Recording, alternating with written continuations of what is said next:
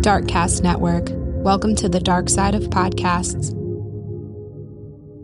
Content warning ahead.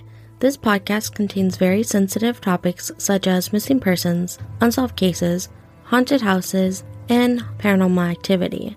These type of topics can contain very upsetting, sensitive details and stories. Please listen responsibly. Welcome to Misty Mysteries, a podcast in the business of bringing you ghostly spooks and chilling crimes. Today's episode, we're going to be jumping right into February's topic, which is strange and unknown cryptids, aliens, odd unsolved cases, and strange disappearances. We'll be doing this by covering the death of Rodney Marks, also known most famously as the first murder in the South Pole. This is a case that is truly kind of puzzling to me. But before we hear more, I want to introduce you to one of my podcasting friends. Hello, Spooklings. I'm Jason, And I'm Kathy. and we're the hosts of the weekly podcast, All Hallows Eve Podcast. We are a husband and wife duo with a passion for anything spooky, macabre, and true crime, sprinkled with our own twist of comedy. We explore topics such as the history of Halloween, the Butcher of Plainfield, Hocus Pocus 2, urban legends, superstitions, and more. So come join us as we go down the rabbit hole that is All Hallows Eve Podcast. Listen and follow us at allhallowsevepodcast.com or your favorite podcast provider. Stay spooky, my friends. If you found that promo caught your attention, you can find a link for their podcast in the episode notes. Now, for the first murder in the South Pole. The first thing, as always, we need to learn about Rodney and what his life was like. Rodney David Marks was born on March 13, 1968, in Geelong, Victoria, Australia. He was one of the three children born to his parents, and he was a kid to brag about from the start. Rodney was extremely smart and excelled in his academics. By just seven years old, he was doing crossword puzzles with the assistance of his thesaurus, and as a teen, he received a scholarship to a prestigious private school near his hometown in Geelong, where he flourished in math and science. He then went on to study astronomy at the University of Melbourne, finishing his academic career with a PhD in astronomy from the University of New South Wales in 1993. Rodney was not only just brains, though, he was very creative. He loved surfing, the stars, and music. Rodney played guitar, playing in heavy metal bands. Rodney enjoyed just being a free spirit and breaking what others' ideas of what he should be was. One astrophysicist he met while at an annual meeting for Astronomical Society of Australia named Gene Davison described him as a bearded, six foot two free spirit. He said he didn't look like a typical scientist. He had long hair and dressed goth with black fingernails. He truly made an impression on everyone he met, making friends along the way. Everyone who knew him described him as being smart and a very passionate person. One thing that he was really truly passionate about, well, being an astronomer, was stars, but also Antarctica or the South Pole in specific.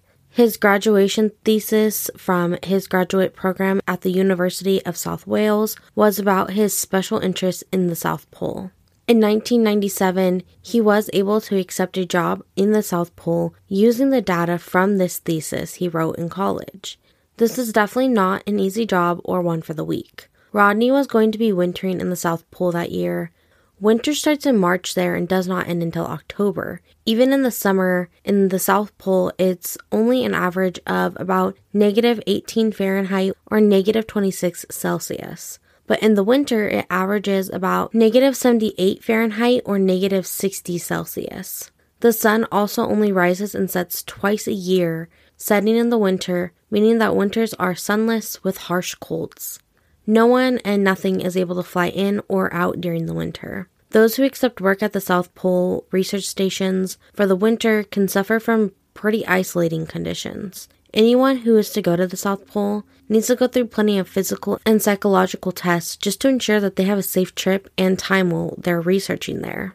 Despite all of these criterias and challenges, Rodney did his first winter in the South Pole from 1997 to 1998. He was working on an infrared telescope called Spirex There, he really got along with all of his colleagues. He gave introductory lectures on astronomy for everyone on base once a week to not only teach but help other scientists and other staff help and understand each other. He made time to hang out with as many people as he could and even learned French while wintering in the station that year. Rodney loved this and he loved the South Pole so much that he made sure to lock down another position at a second station from November of 1999 to November of 2000. The position he accepted was at the American station named Amundsen Scott South Pole Station. He was one of 50 in the skeleton crew to keep the station operational during the winter.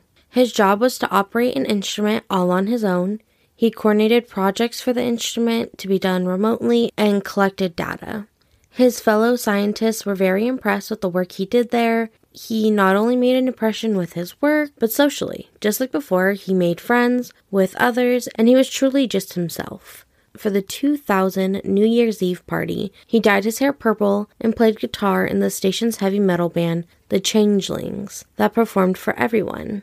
At this station, he also met a woman named Sonia Walter. She was a maintenance specialist at the station, and the two became more than friends. They even got engaged, and they really looked forward to getting married after the stay at the station was over. Unfortunately, though, Rodney never made it back home from this winter to marry his fiancee.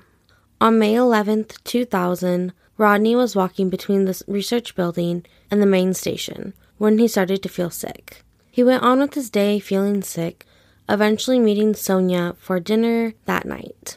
To Sonia, he complained of feeling weak and he was having trouble breathing and his eyes became very itchy and dry. Like most of us when we aren't feeling too well, Rodney went to bed that night pretty early, hoping he would wake up feeling better, but he woke up feeling worse. Rodney woke up vomiting blood and decided to go see the doctor at the station, Dr. Robert Thomas. Rodney told the doctor about his symptoms. He was struggling to breathe, he had weak vision, he was fatigued and vomiting blood. He also complained of a burning sensation in his stomach and his joints. The doctor believed that Rodney was suffering from alcohol withdrawal and he wasn't too worried. Drinking and overindulging in these stations wasn't too uncommon, considering the isolating conditions and the outside weather. Rodney was known to drink and overindulge in it, but he was also known to have a high tolerance, and he wasn't known to be dependent on alcohol. The doctor's diagnosis seemed to get less likely as the day went on, and Rodney's symptoms got worse. He returned to the doctor two more times that day, each time his mental state becoming worse as he felt he was fighting for his life. The third visit, the doctor finally decided to get a blood sample. During this, he found two fresh needle marks on Rodney, which is another odd factor when Rodney's death is looked into. This blood sample, though, was for nothing. Dr. Thomas had a machine that he could measure Rodney's blood chemistry, but proper maintenance wasn't performed on this machine, and it was going to need 8 to 10 hours to recalibrate before it could be used, which Rodney didn't have. By the third visit, Rodney was full of anxiety and struggling to find any sort of comfort. Dr. Thomas made the decision to give Rodney a sedative to try to relax him. Instead, Rodney suffered what the doctor believed to be a heart attack or a stroke. He attempted CPR on Rodney, but at 6:45 p.m. on May 12, 2000, he declared that 32-year-old Rodney Marks had passed away from what he believed to be natural causes. May 12th, 2000 was a very hard day for everyone in the station, and it was only the beginning of the harsh South Pole winter. Rodney could not be buried there, and no one there was qualified to conduct an autopsy on Rodney. This meant that Rodney's body had to be stored in the station's storage, being preserved by the harsh temperatures of the outside. Rodney's death was devastating to his friends, family, colleagues, and fiance. He had a memorial service in honor of his life, not only in the South Pole, where he was stored after his death, but in Australia with his family and in America. Those closest to him at the station even made an effort to build a makeshift casket for Rodney so that he could be laid to rest as best as they could under the stars that he loved, till months later in October of 2000 when planes could fly in and out of the South Pole. The first plane on October 30th, Rodney was flown out of the South Pole to Christchurch, New Zealand, on his way home to be buried in his homeland of Australia. Here he sat till mid December when Martin Sage, a forensic pathologist in Christchurch, was able to perform an autopsy on Rodney. At this point, his colleagues had settled with the idea that Rodney died from natural causes, but the autopsy revealed so much more. Rodney's autopsy showed that there was no drug use or signs of drug use found, but trace amounts of alcohol were found. Rodney seemed to be a healthy young man, but he had a huge amount of methanol in his body.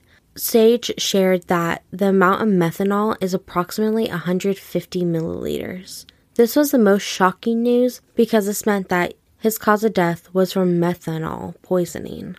Methanol is commonly known as wood alcohol. It is an extremely toxic, colorless chemical with a slightly sweet taste. When consumed, and by the time that Rodney had seen the doctor, the wood alcohol would have turned into a formic acid, causing the unbalance of pH levels in the body, which would lead to a long list of symptoms, most commonly rapid breathing, confusion, tiredness, headaches, jaundice, and increased heart rate eventually leading to kidney failure and to the death of the patient.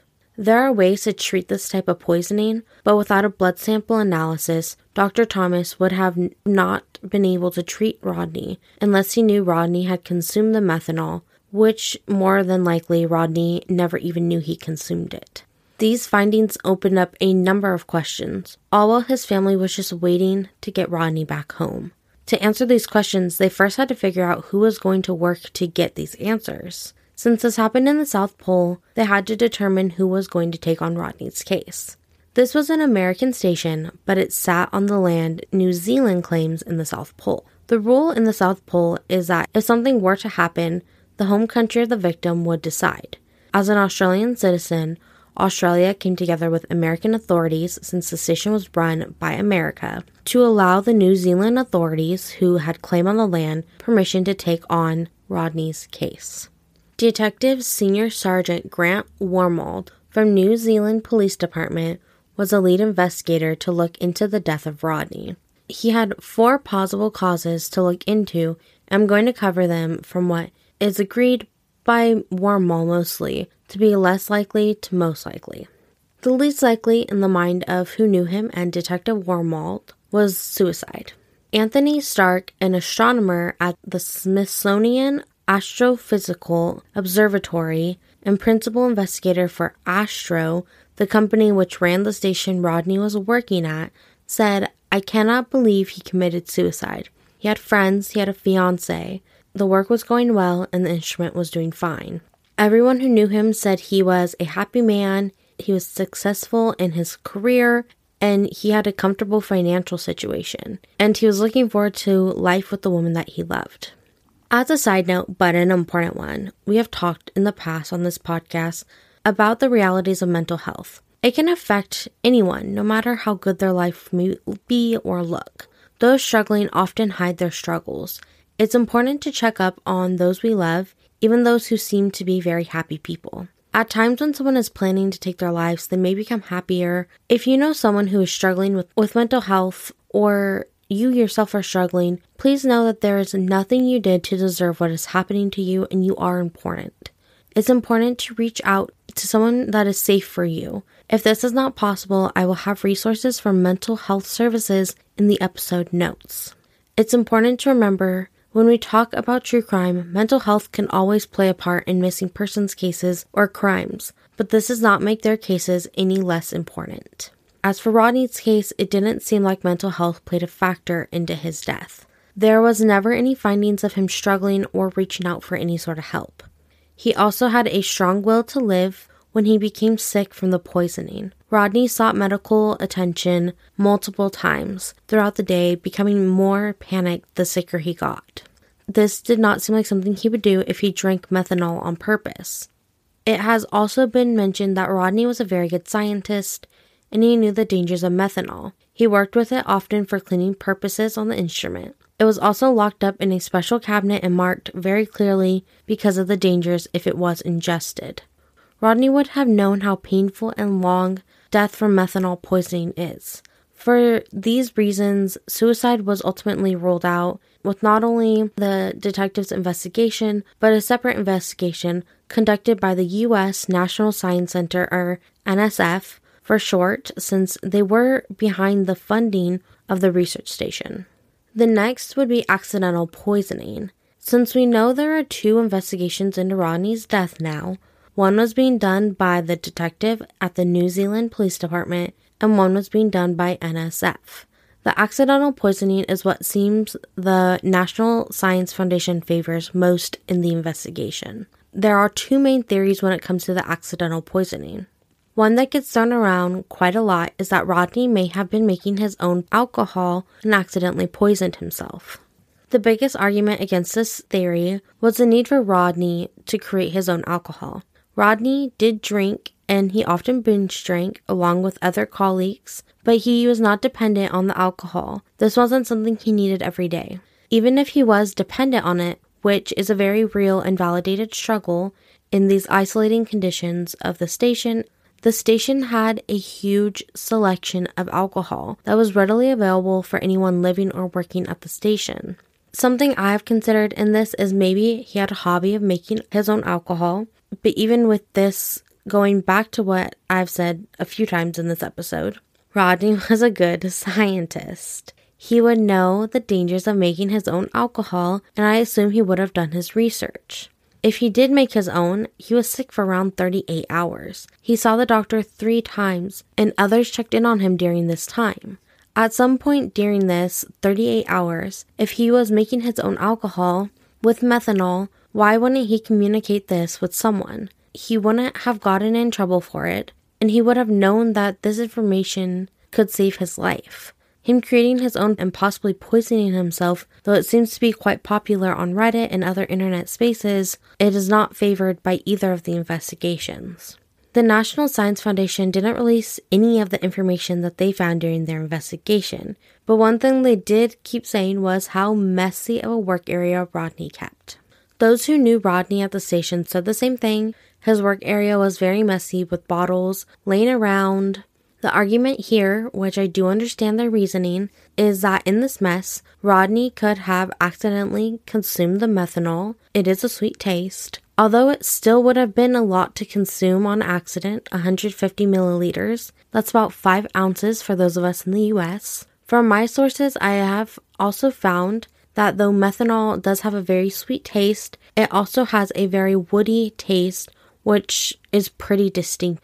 There were also very clearly labels for safety reasons. This is one where I could see potential, but I also see the arguments against it, although the detective doesn't believe this as much as the NSF does. The next one that the detective looked into is the possibility of print gone wrong. This is one of the more simple ones because there are a number of pranks that could be done with liquid or drinks. Maybe someone put it into a drink when they were drinking together or snuck it into a drink at mealtime. Being in such an isolating situation with lots of drinking, I assume people played pranks to keep things fun and light. But most of those at the station were scientists, and if they weren't scientists, then they did have knowledge of what was happening around them, especially with the methanol, since it had been locked up and labeled. Maybe someone with the full knowledge didn't know the extent of what this could do to someone, but most adults, and the station was all adults, know the dangers of putting unknown chemicals into someone's drink. There aren't too many arguments against prank gone wrong, though it's not favored by the detective. In this situation, someone is responsible. If they didn't know or they knew the dangers, this person should be held responsible for what they have done. If a prank takes someone's life, it goes beyond a prank, especially when it comes to such a dangerous chemical, and especially if they knew this chemical could make someone sick like this. Which leads to the last and one of the most favorable by the detective. This is that Rodney was the victim of murder. Now, with only 49 people around when this happened, with no way of getting in or out, it seems that this should be easy, but it was far from it.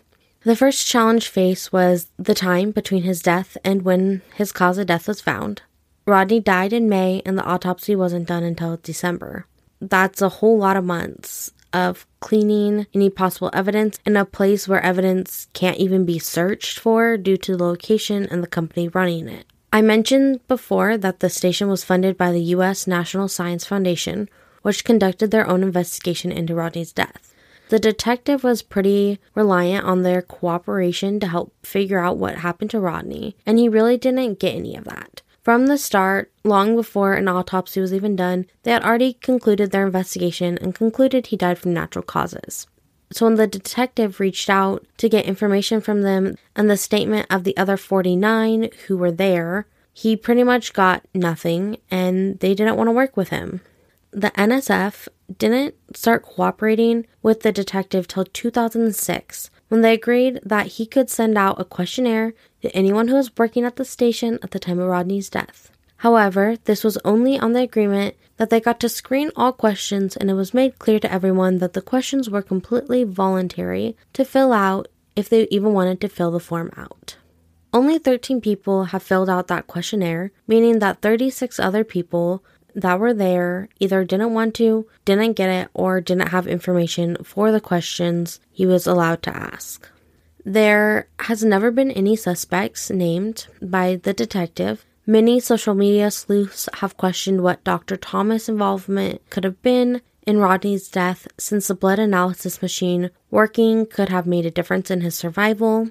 Plus, he has not been able to be found since 2006, which raises more questions and suspicion around the doctor. Others have questioned Sonia and his relationship if there's any type of jealousy from either side that could have played a role in his death. The reality is that the detective is working with a very limited information and no evidence. And in September of 2008, a coroner report was released where it was said that they couldn't determine the state of how Rodney ingested the methanol, but only that his cause of death was methanol poisoning consumed approximately two to three days before his death.